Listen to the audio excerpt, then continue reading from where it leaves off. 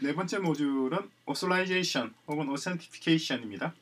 이것도 사람과 사물과 개념 각기 좀 다르게 적용이 돼요. 이렇게 종류를 나눠놨는데 마찬가지로 중복되고 있으니까 임플메인테이션만 좀 다르지 에, 내용은 크게 다르지 않습니다. 같이 보겠습니다. 자, 첫 번째가 사람입니다. 사람을 어떻게 그 사람이 그 사람이라는 걸 아느냐는 거죠. 제일 확실한 거는 일단 IP 어드레스입니다. IP address 자체가 위변조가 불가능하죠. 우리 그러니까 어, 우리 이전에 봤던 unforgeable IP address 이거 기억나시나요? 이 시스템에 의해서 지설의 IP 역시도 위변조가 불가능합니다. 그렇죠? 반드시 특정 지설은 그 지설이 속해 있는 수풀 서버와 DNA로 연결되어 있으니까 어, 절대 변조할 수 없는 것이 지설의 특징입니다. 그것이 이제 이미 하나의 이렇게 모든 것의 모든 지설의 IP 어드레스 자체가 가장 완전한, 가장 안전한 그러한 뭐라고 해야 되나요? 어, 저, 저, 저 본인, 본인 사람이 아닐 수도 있죠. 사물. 그것이 그것이다. 그런 것을 인정하는 음, 건데 문제는 뭐냐니까 사람의 같은 경우는 요 그 뭐예요? 스마트폰이나 PC를 다른 사람이 뭐 훔쳐가거나 어, 그럴 수가 있을 거 아니에요. 그러면은 그 사람이 그 스마트폰을 이용해서 그 사람이 아닌데도 불구하고 훔쳐간 사람이 뭔가를 할 수 있겠죠. 그래서 추가적인 어, 그러한 장치들이 주어져 있습니다. 그 중에서 대표적인 것들을 몇 가지를 보겠습니다. 첫 번째가 이저 트랜잭션 노말입니다. 이건 뭐냐니까 어떤 홍길동이 있는 거예요. 여기는 홍길동이 아니고 앨리스입니다. 앨리스가 있는데 앨리스가 서울에서 밥을 사 먹고 그리고 10분 뒤에 부산에서 쇼핑을 했다. 그러면 말이 안 되잖아요. 10분 만에 서울에서 부산으로 갈 수가 없죠. 이게 transaction의 normal한지 여부를 판단하는 겁니다. 왜냐니까 어, 우리 OpenHash 플랫폼에서는 OpenHash 플랫폼 자체가 공간 웹 아키텍처 위에 있는 거죠. 따라서 시간뿐 아니라 거래 시간뿐 아니라 거래가 발생한 장소의 GPS 정보를 반드시 추가할 수 있게끔 구성되어 있죠. 그래서 시간과 공간 정보를 이용해서 어떤 거래가 정상적인지 아닌지를 판단할 수가 있는 것이 하나의 방법인데 이러한 방식은 OP 플랫폼에 의해서 자동으로 주어지는 겁니다. 그죠? 자동이에요. 이거는 뭐 굳이 사용자 설정할 필요가 없습니다. 밑에 있는 것들은 사용자들이 좀 설정할 수 있는 방식이에요. 네 가지 방식을 제시하고 있는데 그 기존에 있는 스마트폰의 뭐 지문 인식이라든가 홍채 인식, iris recognition, 패턴 인식에 추가해서 또 자기들이 이렇게 조합을 할 수가 있어요. 첫 번째 게 add now to quiz라고 하는 function입니다. 이건 뭐냐니까 어, 앨리스가 자기만의 계산 방식을 두는 거예요. 그래서 어, 컴퓨터가 묻는 거죠. 계산 이제 거래를 승인할 거냐라고 주로 이제 월렛이 묻는 거죠. 월렛이 거래를 승인하겠느냐 물을 때 어, 문제를 내는 거예요. 퀴즈를 내는 거예요. 3 곱하기 3이 무엇이냐라고 묻는 거죠.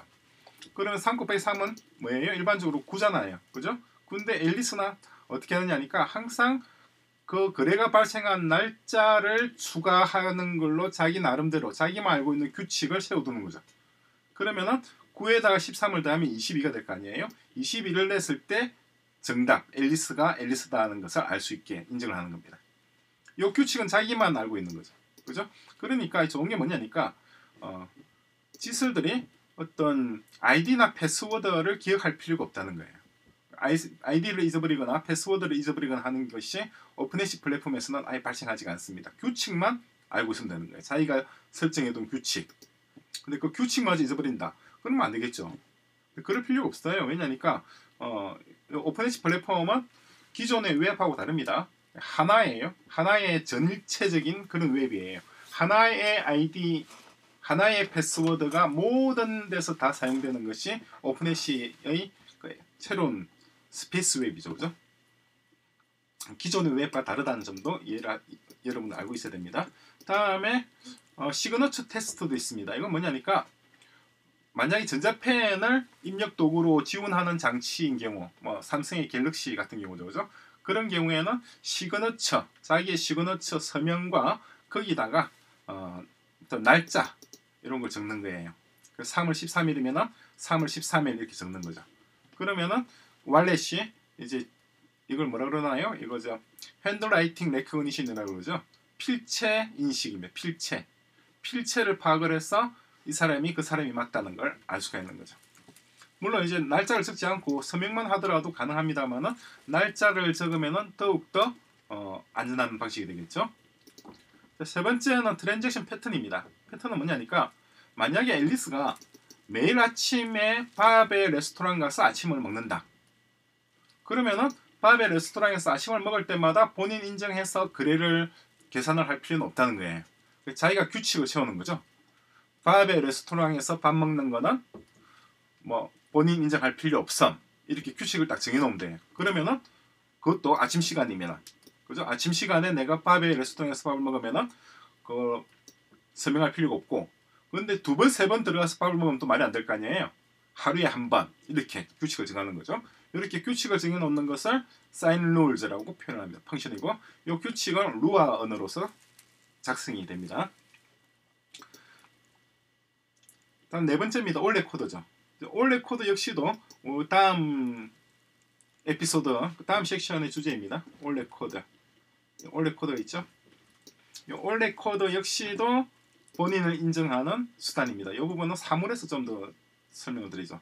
사물도 마찬가지로 사람과 비슷한 방식으로 본인 인정을 하는데 특히 올레 사인 같은 경우는 어, 이거는 고유한 거예요. 만약에 앨리스가 앨리스의 자동차에다가 이것은 이 차는 앨리스의 자동차입니다. 해서 Alice's car 이렇게 Alice's car 이렇게 적어 놓는단 말이에요. 이걸 올레 코드로 적어 놓게 되면은 이거는 오로지 이 차에만 적용되는 거예요. 다른 어떤 차에도 이 코드가 적용될 수가 없습니다.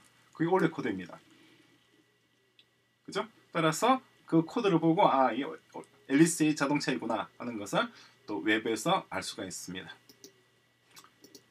그 외에 두 가지는 똑같습니다. 올레 코드는 다음 섹션에서 제가 자세하게 설명을 드리겠습니다.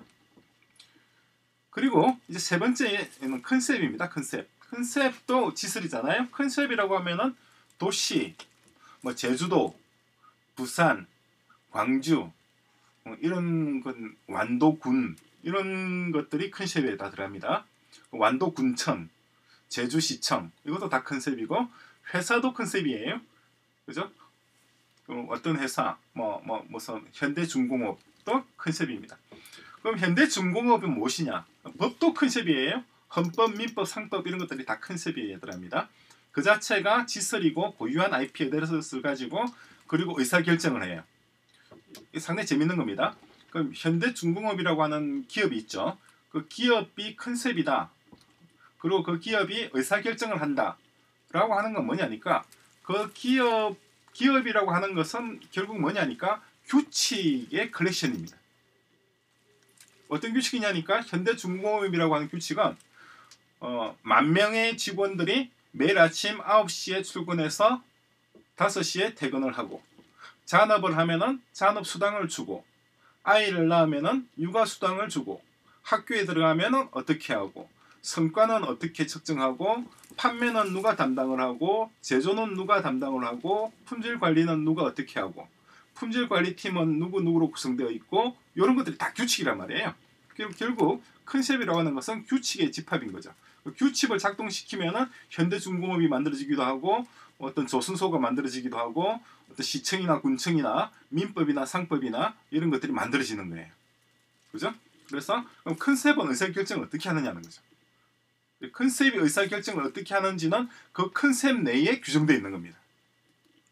그죠? 그 현대중공업에서 100만 원 이상 지출할 때는 대리의 사인, 1000만 원 이상일 경우에는 차장의 사인, 그 1억 이상일 경우에는 누구 이렇게 그죠? 이렇게 규칙이 정해져 있을 거고 그 규칙을 인출해서 그 규칙에 따라서 인정 과정을 집행하면 됩니다. 그것을 이제 보트라고 얘기를 해요. 그 사인 룰입니다. 사인 룰인데 조금 다른 게 이거는 보트라는 거죠. 보트라고 하는 것은 선거 투표입니다. 투표죠. 그래서 이것은 계장, 차장, 뭐 부장의 서명이 필요하다. 그럼 계장, 차장, 부장의 서명 그죠? 보트가 필요한 거예요. 이해되시죠? 보트라고 하는 것은 결국 여러 명이 서명하는 겁니다. 둘 이상이 서명하는 거죠. 그게 요 컨셉입니다. 근데 이 컨셉 부분은 별도의 주제로 다뤄야 돼요. 이건 상당히 좀 또 간단하게 우리가 넘어갈 수 있는 부분이 아닙니다. 그래서 일단 이 부분은 좀 차치를 해뒀어요. 차치를 해두고 어, 이제 컨셉이라고 하는 것들은 또이 저장되는 것도 상당히 특이하게 저장돼요. 왜냐니까 사람이나 기계나 사물은 어떤 자기의 어떤 그런 어, 실체가 있지만 컨셉은 실체가 없어요. 현대 중공업이라고 하는 것은 실체가 장부상으로 존재한단 말이에요.